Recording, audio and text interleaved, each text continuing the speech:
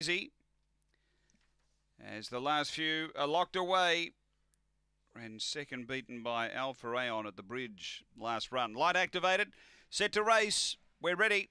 This is uh, race number nine, the Masters away and uh, speed in the centre. Lord Asher's going to push on early, trying to rail up Zipping Maisie. Lord Asher headed off Zipping Maisie, but it's got the run to try and drive up behind those Dinky Man, then foolproof. The leader skipped away a bit here. Next, Iceni Rival, and then came Bacalia's Freak up to the turn. Lord Asher is going to straighten two in front. Zipping Maisie dropped off. Foolproof storms home. Lord Asher in front though, and Lord Asher beats Foolproof. Third Dinky Man, uh, then Iceni Rival, Zipping Maisie and Bacalia's Freak. The run here is around 22 and 50.